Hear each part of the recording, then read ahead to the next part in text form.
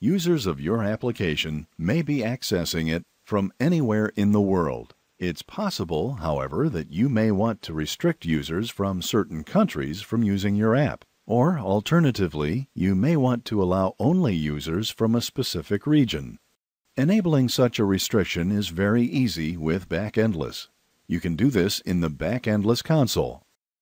Simply select your backend application, then click on Users, and then Security and Restrictions. The user interface shows the Geographical Restrictions section. The interface allows you to add one or more countries to the list. Whenever a country is added, Backendless will block all calls for the users accessing your application from the country. We do it by decoding the IP address to the location of the user. To see a list of all countries, click the combo box and hit the spacebar.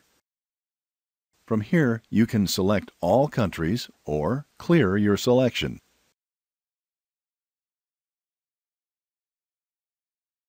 Make sure to click the Apply button anytime you make a change.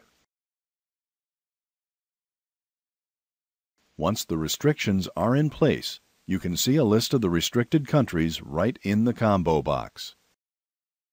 It is easy to remove a restriction simply by clicking X in the country name. This concludes an overview of the geographical restriction in Backendless. Thank you, and endlessly happy coding.